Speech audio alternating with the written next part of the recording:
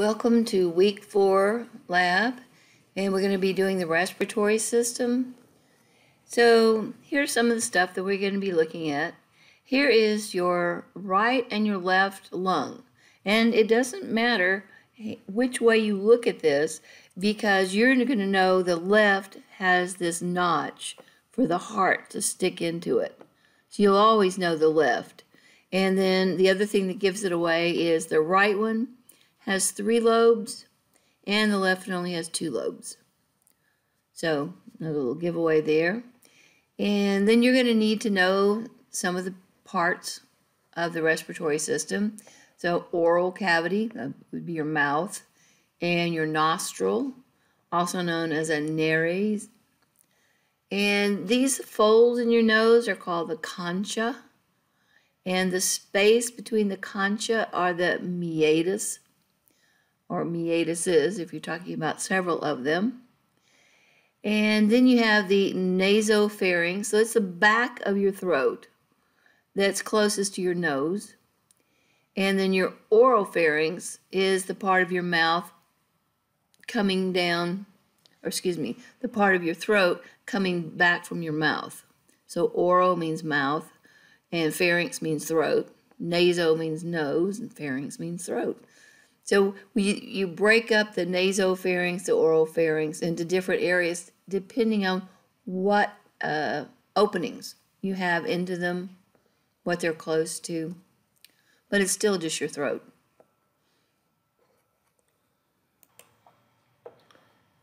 Here's one picture showing you some of the sinuses that you have. A sinus is a hole in your in your bone. So you have the frontal sinuses in your frontal region. The ethmoid sinuses are going to be near your ethmoid bone. Sphenoid sinuses by your sphenoid bones. And your maxillary sinuses. Remember you when we did the skeletal system and you learned the max, max, I can't even say it, the mandible and the maxilla. So these are the maxillary sinuses. Here's a cartoon picture of the same thing, but it helps a little bit. Here's your eye socket and your eye and your frontal sinuses over your eyes. You can see the ethmoid sinuses right about where your uh, lacrimal gland is. And then the sphenoid sinus is right below it. So they're very, very close together. And then your maxillary sinus so it's a little bit below the nose, below the eye. So if you get a sinus infection, that's what they're talking about. So depending on which of your sinuses is infected, that's where you're going to experience pain. I found another picture that makes the ethmoid a different color than the sphenoid. So you can kind of see the difference between the two. So as you're reading over the first page of the lab, you're looking at the what the respiratory system does. It brings oxygen. It removes carbon dioxide. So that's important, but it also warms and moisturizes the gas. It also cleans the stuff out of it. So you would be amazed if you put like a filter in your nose and filtered out some stuff and then put it on the microscope slide, all the things, the particulates that you suck into your lungs during the course of a normal day. So we have hairs that help filter that out. We have the concha that warm and moisturize the air coming in. Uh, we have mucus, so it's really sticky and all kinds of things stick down in it so that it doesn't go down into your lungs. You also have white blood cells that will eat uh, foreign invaders. If you uh, breathe in some worm eggs, every time somebody dives for first base and I see all that dust fly up in the air, I'm thinking, oh man, do you know how many worms and worm eggs are in that? Wow. And you're sucking that right up in your lungs. One of my young relatives came to me now that she's much older and said, I remember you telling me about all those worm eggs that were in the air and in the dirt. And so you made me never eat my boogers. And I went, good for the, good for me. She goes, yeah, but was it true? We're going to learn the upper respiratory tract, and these are the words that you're responsible for knowing and being able to identify. And the lower respiratory tract is this one. So we broke the pharynx, which is your throat, into the nasopharynx, which would be the upper part near your nose, the oral pharynx, which is your uh, mouth, and the laryngopharynx is where you go down and you get to the voice box. So the larynx is your voice box. And some people put the trachea as part of the upper respiratory, and some people put it as a lower. So it just depends on whose book you're looking at. Most people have the larynx up in the upper respiratory. I will tell you that. Most of them don't don't put it down here. The trachea is usually the cutoff between upper respiratory and lower respiratory. And then we talk about the bronchial tubes. So you know the primary bronchial tube is the first one, and then the secondary is a branching off or a bifurcation, and then you get to the tertiary, and eventually you're going to get down to little teeny tiny bronchioles. And when you get down to the little teeny tiny bronchioles, they actually can help with the gas exchange.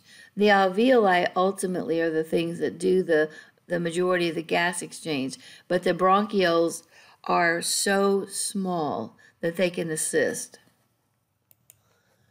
The thing that I hope you guys learned when you were in lecture class is that from the trachea on down, you have cilia, and they're going to be beating upwards and try to push mucus up, up, back up to the larynx, where you have a splitting off place where you can either go into the trachea or you can go down into the esophagus.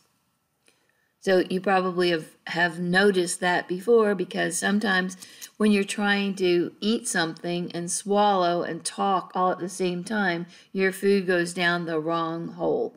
So you opened up your epiglottis, you opened up your vocal cords, and you allowed the food to go down the wrong path because you were opening it up so you could get air through. So the epiglottis serves to shut off the uh, trachea so you don't accidentally swallow food down the wrong, down your windpipe. So there's a lot of fancy words here. We're talking about terminal bronchioles and respiratory bronchioles and the alveolar ducts and then the alveoli. So according to this, everything from the terminal bronchioles up are just conducting. The air just passes through, it gets cleaned, it gets warmed up, it gets moisturized, but you don't really exchange gases.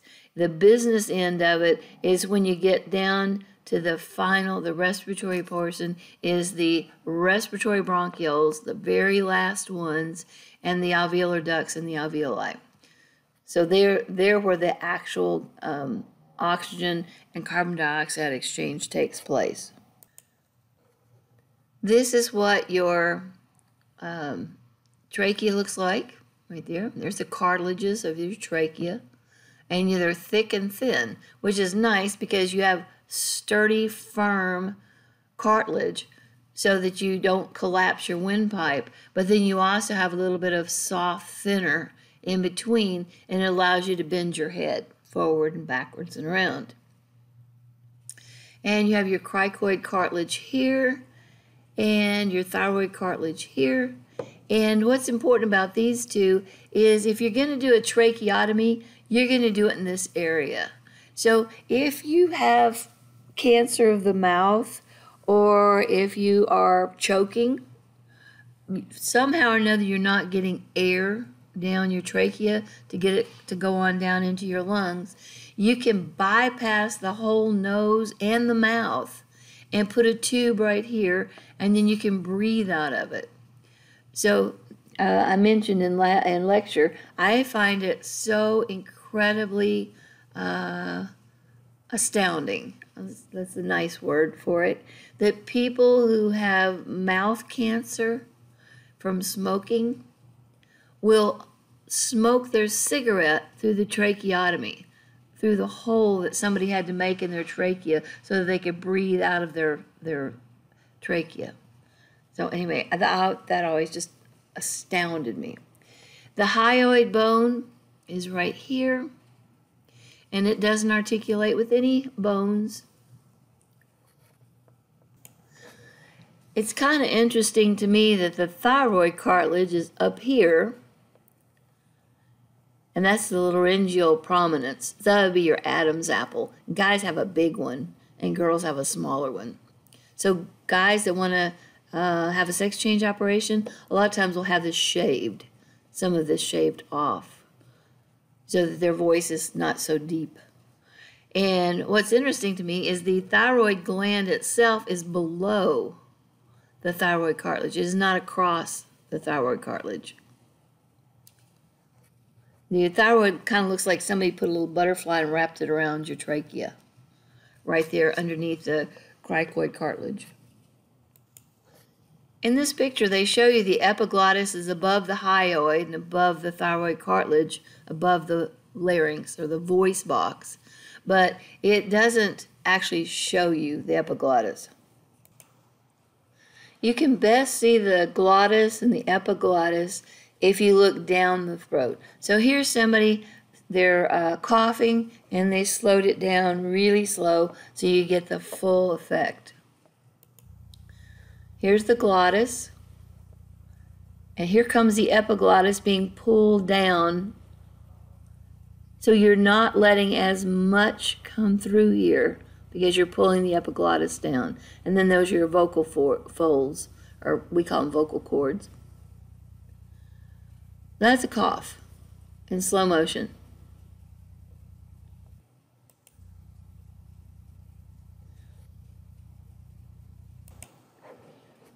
This is the posterior view of the larynx. So you see the thyroid cartilage that we saw up here. And there's the cricoid cartilage right here. And you can also see it coming around in the posterior view, in the back. And those, those rings that you saw in the front of the trachea, right there, do not extend all the way around to the back. And what fits right here in the back is the esophagus.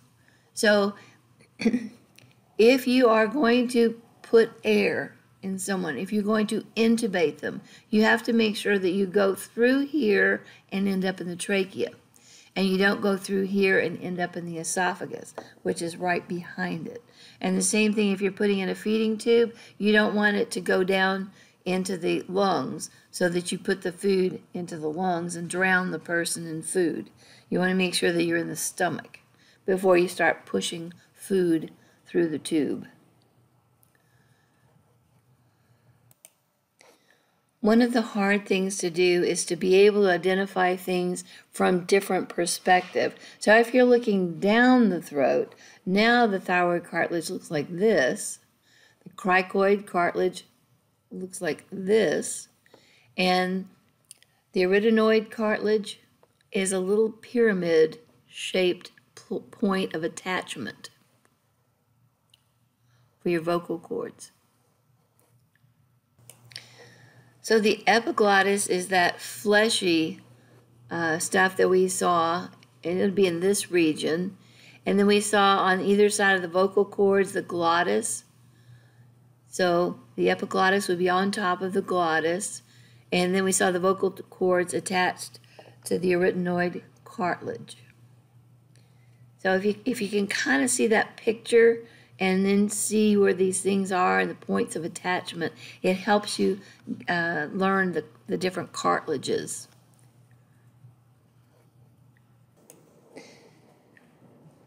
Here is a little bit of a close-up to help you a little bit with some of the words.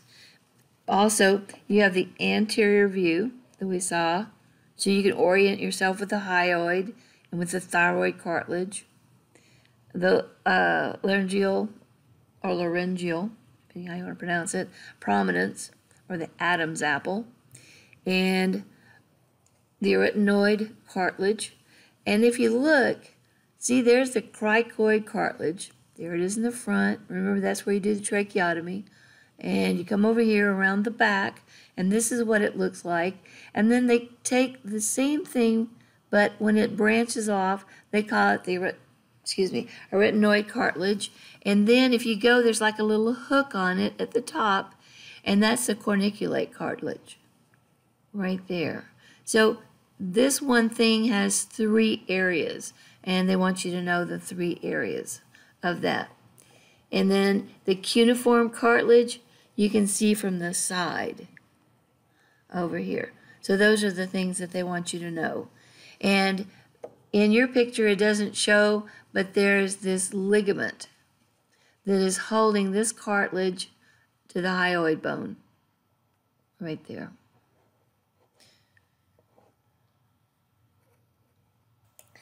If I were you and I was trying to learn this, I would look at this picture very carefully from all three angles, and then I would pause the video and go back to the picture in your book and look and see where these things are. So it's so hard to see in the book where those different um, arytenoid, cuneiform, and the corniculate cartilage is from just this teeny tiny picture. I think we've talked about everything on this particular picture with the exception of the carina. And it is the place where the trachea branches off into the right and left bronchial tube. So that's the bifurcation right there. And again, you always know the right side because it doesn't have the um, cardiac notch right there. So you know this is the left side. And you end up with the secondary bronchial tubes branching off of the primary. Here's the primary, here's the secondary. And then as you keep branching off, then you get down into the tertiary. And then you, all these down here are the actual bronchioles. And you have little bronchioles branching out here also, all the way. But they're only showing the ones down at the bottom. Attachment for the epiglottis here. We're looking from the side. So here are the rings, but you notice they don't come around to the back. So you're looking at the side. And the cricoid cartilage looks kind of thin in the front but it gets a lot bigger in the back. And there's the place you put the tracheotomy. And here we're adding two more things. The vestibular ligament, which they call the false vocal cord, and the true vocal cord, which is the vocal ligament. So you have two ligaments in there, but this is the actual one that we saw flapping in the breeze as the person was sneezing. Nothing too much new on this particular slide. The upper lobe is the superior and the lower one is the inferior and then the one in the middle is the middle. So pretty easy. And the left side only has two, so you have the superior and the inferior lobes. We talked about the cardiac notch. That's where the heart uh, pokes into the lung. And they call these things fissures. And because they're not straight across, it's not a horizontal fissure or a vertical fissure, it is an oblique fissure.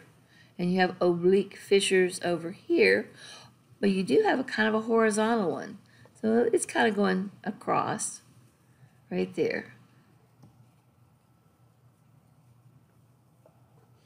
Here's where the lungs sit on the diaphragm. And remember, when the lungs inflate, it's because the diaphragm contracts and pulls down. And when the diaphragm pulls down, these things are riding on it. They're kind of stuck to it with a, with a fluid, and so they ride down. and that causes them to inflate. And then when it relaxes like this, it bows back up and pushes. It pushes against the heart and it pushes against the lungs. So here's your list of things that you need to know. Your nostrils, I think everybody's pretty familiar with your nostrils. If you put your finger in your nose like you're going to go digging for gold, then you're going to be in your nasal cavity. And if you wet your little finger, you can actually stick your little finger back through the nasal cavity up between the folds of the concha into the meatuses. So it's kind of fun and, and, weird if you want to do that. So just wet your little finger and just slide it through the nasal cavity and keep going back. And you can feel those folds. Then we have the nasopharynx, the oropharynx, and oh, we don't have the laryngopharynx. They left that one off. But anyway, that's the third one. And the larynx is your voice box. It has the Adam's apple. It has that uh, prominence that sticks out there. The thyroid gland, remember it looks kind of like a butterfly wrapped around the trachea, and it's in the front. It's in the anterior view. And the tracheal cartilages look like rings, but they don't extend all the way around into the back.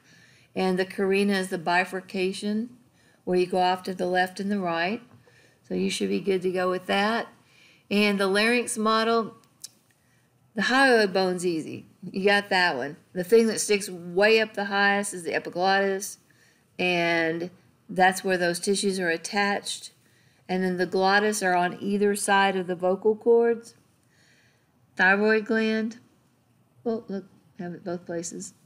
Thyroid cartilage, cricoid cartilage, cuneiform cartilage, arytenoid cartilage, trachea, and tracheal cartilages. You just need to get the uh, models and look. But remember that the cricoid comes on up and is named two different things as it comes up. So, but it's pretty much the same one. All right, the bronchial tree, again, you have the hyoid bone, trachea, tracheal cartilages, bifurcation, carina, left and right, primary bronchus, secondary bronchus, bronchial tubes, tertiary, and then you branch out the little bitty baby bronchioles, the vocal ligament, and the vestibular ligament, the false vocal cord. Looking at the lungs, ooh, superior, middle, and inferior. So you know you're talking with the right lung. The horizontal and the oblique fissure, and they all rest on the diaphragm. Left lung is superior, inferior, oblique fissure, cardiac notch, and it sits on the diaphragm. So other than the larynx model, I don't think you're going to have any trouble uh, identifying things on this. And if we were doing this in person, we would have you go from table to table and label the various things that we laid out for you on the table, but we don't have it there. So, the one other thing that we would do in the lab is we would have you use the microscopes and you would look at the various respiratory tissues under the microscope. So you're going to see ciliated cells that are pushing mucus. You're going to see goblet cells. This is what the lining of the trachea looks like.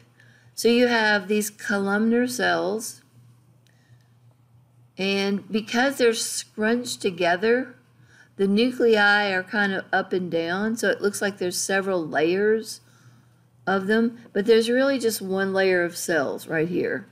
And so we call this pseudo stratified. So it's fake stratified. So you're like, oh, here's one layer, and here's one layer, and there's one layer. And that's not true. There's just this one layer right here of these tall columnar cells. And these cells are called goblet cells right here, and they're secreting mucus. So they're just squirting mucus up here. There you go. And these are the cilia. So this is called ciliated pseudostratified columnar epithelial cells. So that's that's the full name of it. And these goblet cells pushing out the mucus, the cilia pushing the mucus towards the up, up, up towards the um, voice box, the larynx, the point at which the esophagus and the trachea come together. So you have to have the epiglottis that closes off the airway if you're going to swallow something. But when you're asleep, it can be open and the cilia can just push the mucus up, push the mucus up, and then it slides down the esophagus. So sometimes you wake up and you you got like a sounds like a frog in your voice. You kind of you got this stuff in there. That was because your cilia are doing their job and they're pushing it up. So you just kind of clear your throat a little bit when you wake up, and away you go. So this is the this would be one of the histological tissues that they would want you to be able to identify with the goblet cells and the cilia. And then underneath it, of course, you've got the the uh, cartilage for the strength because again you don't want your airway to collapse. This is a really neat video. This is showing you the alveoli and watch what happens when I run the video. There, you can see the capillaries. I'm going to pause it. You can actually look through the alveoli and see the capillaries touching. The alveoli are squamous epithelial cells. They are flat as a pancake and they allow gases to easily pass through them. So this is squamous epithelial cells, and then the capillary is squamous epithelial cells too, but it makes a tube. So this is making like a grape cluster. These are your alveolar cells that make up the alveoli. But these are, because they also have blood in them coming through, you can't see through them. But if you took the blood out, you'd be able to see through them. So let's continue on.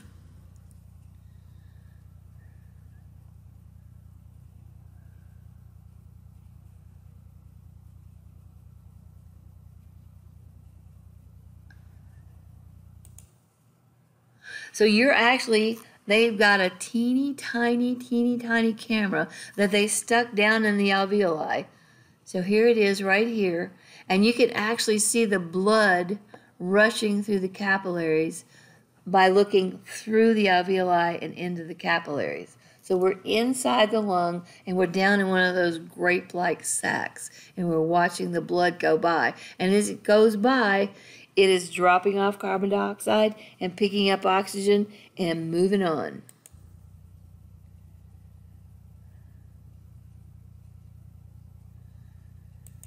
Isn't that neat how it's going over and branching off? So it's covering all these squamous epithelial cells that make up the um, alveolar sac.